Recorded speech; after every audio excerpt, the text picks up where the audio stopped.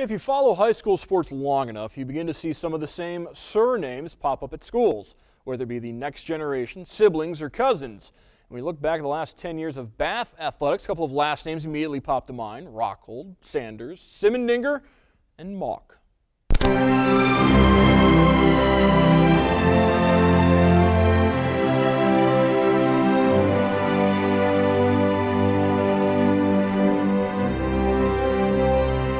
Stefanie Mauk, Bath, class of 2009, basketball.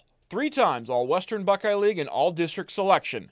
As a senior, averaged 15.9 points, earned second team All Ohio accolades.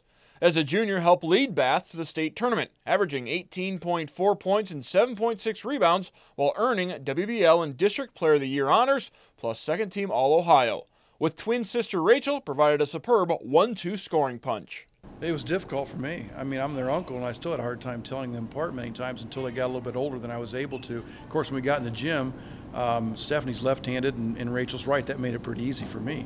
But uh, two kids that were uh, game changers. I mean, they, they, from the time they walked into our uh, high school gym as freshmen, uh, they were impact players and uh, just continue to grow and get better. And uh, very competitive kids. You know, they were a joy to coach. Stefanie was a, a really skilled player. I mean, Stefanie was probably one of the um, better pure shooters um, that we had. And she did things effortlessly, which almost made it look like sometimes she wasn't putting forth uh, the effort, but she got a lot done because she was just a smooth athlete. Um, and just a real joy to coach, also. I mean, she was a, a program changer.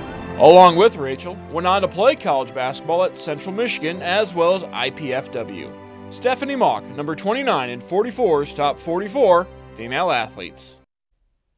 More on the Mauk twins in a future installment of 44's Top 44. And join us next week for number 28 as we stay in the Western Buckeye League and a multi-sport star went on to Ohio State. And of course, each Thursday from now until June, we'll continue the countdown of 44's Top 44 female athletes on the Sports Report.